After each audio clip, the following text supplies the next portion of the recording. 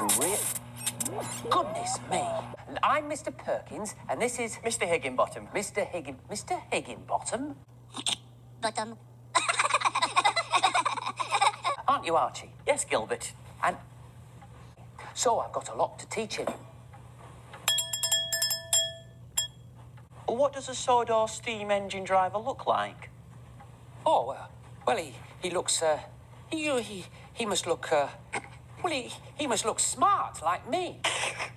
Oh, you knew that, didn't you? Hello, Knapford Station Engine Driver's Common Room, Gilbert speaking. I mean, Perkins speaking.